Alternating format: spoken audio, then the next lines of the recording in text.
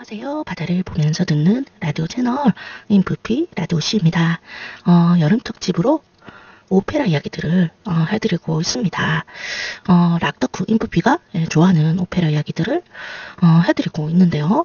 오늘 예, 제가 얘기할 오페라는 바로 지아코모 푸치니의 라보엠입니다.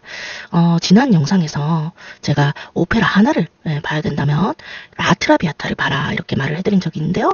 만약에 예, 두 개를 봐야 된다면 바로 이 푸치니의 라보엠을 보라고 그렇게 추천을 드리고 싶습니다. 어, 지아코모 푸치니 굉장히 예, 유명한 오페라 작곡가입니다. 바로 이탈리아 주세페 베르디의 뒤를 잇는 예, 어, 정말 오페라의 대가라고 예, 말을 할 수 있겠는데요. 네슨 도르마 네슨 도르마 오미오 바비노 까로 이렇게 예, 유명한 예, 아리아를 쓴 예, 네슨 도르마 예, 투란도트의 아리아죠. 그리고 어, 잔니스키키의 사랑하는 나의 아버지라는 예, 아리아 이렇게 예, 지아코모 푸치니는 굉장히 많은 오페라를 썼습니다. 마농 레스코, 라보엠, 토스카, 나비 부인, 투란도트까지 어, 굉장히 많은 예, 오페라를 저거 만들었고요. 그리고 성공을 어, 다 하신 그런 어, 사람입니다. 어, 아주 아주 아름다운 멜로디를 많이 사용했고요. 그리고 이 관현악을 예, 악기를 굉장히 잘쓴 예, 그런 작곡가입니다. 이 오페라의 대중화를 이끈 사람이 바로 지아코모 푸치니인데요. 1858년에 태어나서 1924년에 예, 사망했습니다. 향년 65세의 나이로 예, 벨기에에서 예, 사망했는데 사실 예, 이탈리아 토스카나 출생입니다. 제가 이 예전에 예, 제가 설명해드렸던 이전 4개의 예, 오페라들을 보면 좀 고전 느낌이 나는 거죠. 그런데 이 지아코모 푸치니의 오페라는 현대적인 예, 느낌이 드는 예, 그런 오페라입니다. 이 소설로 따지면 예, 제가 지난 시간에 설명해드렸던 오페라들은 근대 소설에 가깝다면 이 지아코모 푸치니는 현대 소설의 신현대 소설 예, 그런 느낌이라고 해야 될까요? 그래서 어, 실제로도 굉장히 오페라들이 어, 성공을 예, 했습니다.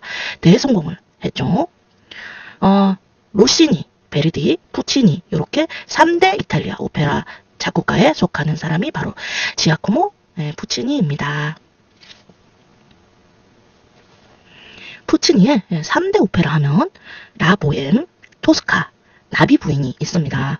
어, 나비 부인 어, 요즘에 갑자기 KBS에서 나와가지고 굉장히 핫했는데요. 이게 나비 부인이 바로 푸치니가 만든 예, 오페라입니다. 바로 일본을 배경으로 하고 있죠. 어, 그래서 이 라보엠 토스카 나비 부인이 예, 굉장히 유명하며 어, 이 오페라가 자주 상영되기도 합니다. 이 푸치니의 오페라의 특징은 여러 나라들을 예, 배경으로 하고 있습니다. 그러니까 이 이탈리아만 예, 배경으로 한 게 아니라 파리라든지 로마라든지 예, 중국이라든지 일본이라든지 이렇게 여러 나라를 배경으로 하고 있고요. 굉장히 서정적이고 아름다운 아리아를 많이 사용을 했습니다. 그리고 이 푸치니가 오페라를 쓸 당시에는 19세기에서 20세기 그 사이에 예, 오페라를 썼는데 바로 이때의 어, 예술 사조가 리얼리즘입니다. 현실주의를 예, 굉장히 추구했죠. 그래서 이 푸치니 역시도 예, 현실에서 볼 법듯한 예, 그런 오페라를 예, 많이 쓴 것이죠.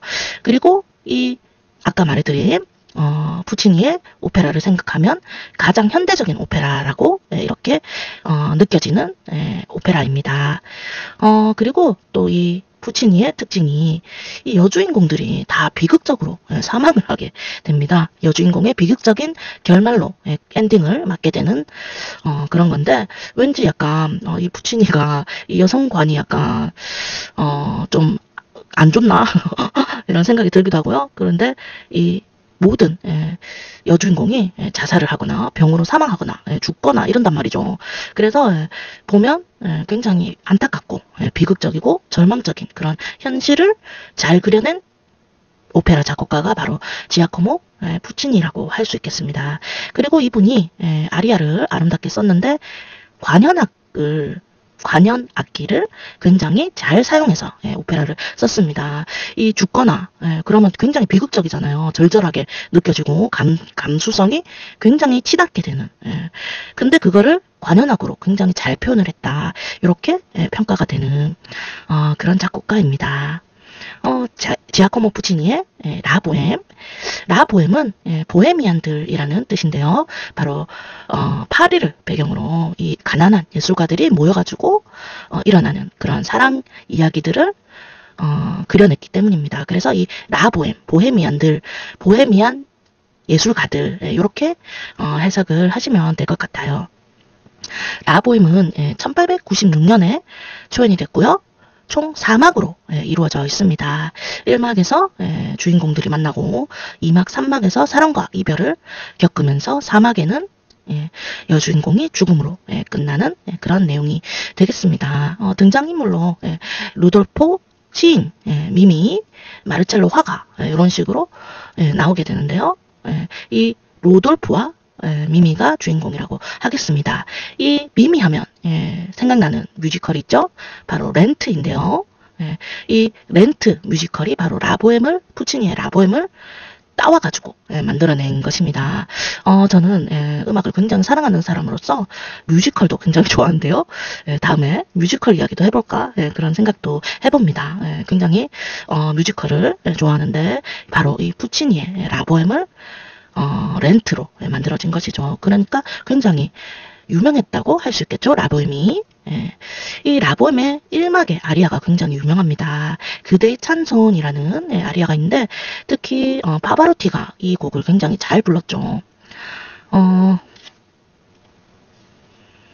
케 겔리다 마니가라고 예, 마니나 예, 케 겔리다 마니나 예, 이렇게 예, 발음이 되는데 예, 그대의 찬송이라는 것입니다. 이 가난한 예술가들이니까 이 일막에서 예, 촛불을 빌리러 미미가 찾아오게 되는데 이 촛불이 꺼지면서 예, 루돌프가 미미의 손을 만지게 되는 거죠. 어두운 상태니까요. 그래서 이 손을 만졌는데 어, 여주인공 손이 너무나 찹니다. 그래서 이 루돌프가 아, 그대의 찬송하면서 예, 아리아를 부르게 되면서 사랑을 예, 고백하게 되는 어, 그런 아리아가 굉장히 유명합니다. 다른 여러 가지 아리아도 많지만 바로 이 그대의 찬송이 굉장히 아름답기로 유명합니다. 그래서 이 어, 부친이의 라보엠을 예, 우리나라에서 예, 한 적이 있거든요. 그 영상을 예, 이 영상 더보기란에 링크로 남겨두겠습니다. 꼭 한번 링크를 따라가셔서 라보엠을 한번 느껴보시길 바랍니다. 어, 푸치니가 1824년도에 사망을 했는데요. 어, 그래서 올해가 푸치니 서거 100주년이 되는 해입니다. 그래서 이 작년에도 푸치니의 투란도트가 예, 열렸었고요. 올해도 푸치니의 나비 부인, 푸치니의 토스카가 예, 하반기에 예, 예정이 되어 있습니다. 그래서 이 기회가 되신다면 푸치니 나비 부인, 푸치니 토스카를 예, 직접 예, 보러 가셔도 좋을 것 같아요. 어, 역시 오페라라는 거는 설명 가지고는 잘 모르는 거니까요. 직접 들어보시면 얼마나 이 푸치니가 오페라를 예, 잘 썼는지를 예, 직접 느낄 수가 있다고 그렇게 예, 추천드립니다. 어, 여주인공이 비극으로 사망하지만 그럼에도 이 예술가들의 사랑을 느낄 수 있는 라보엠이었습니다. 어, 역경을 딛고 구원에 이르는 그런 느낌들을 이 라보엠에서 그리고 다른 나비 부인이라든지 투란도트라든지 마농레스코라든지 토스카에서 예, 느낄 수가 있습니다. 어, 그럼 오늘은 예, 여기까지 하겠습니다. 영상 더보기에 예, 라보임을 한번 예, 느껴보시고 그대 찬손 아리아를 한번 감상해 보시기를 어, 그럼 오늘은 여기까지입니다. 다음 시간도 많이 많이 기대해 주세요.